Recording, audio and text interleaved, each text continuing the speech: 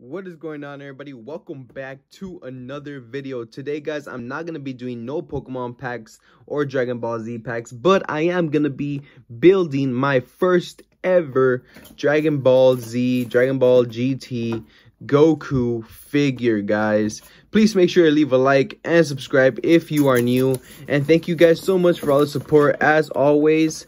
And I'm going to walk you guys through what is inside here guys and we're gonna build this um i have never ever built um a figure before so um bear with me guys if i'm not the best um but let's see guys what this looks like um I'm gonna open this. Hopefully you guys are having a wonderful day.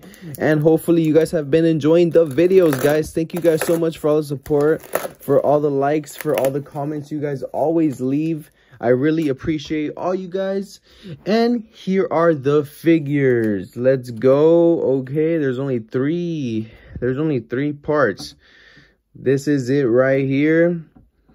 Make sure to leave a comment down below if you guys have um if you guys have bought some figures before, whether it's Naruto, My Hero Academia, Dragon Ball Z, Pokemon, you know, all those um pretty cool um, you know, figures and animes out there, guys. Ooh, this is kind of clean, guys. Let's go. Let me do this right here. Let me do this for y'all. Wow, let me know in the comments down below, guys. What do you guys think of this Goku Super Saiyan? Super Saiyan 1, I believe. Super Saiyan 1. I do not know where this goes.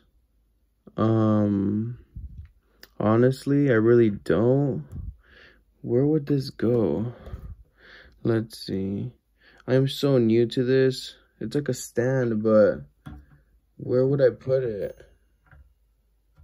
Honestly, don't know where I would put it.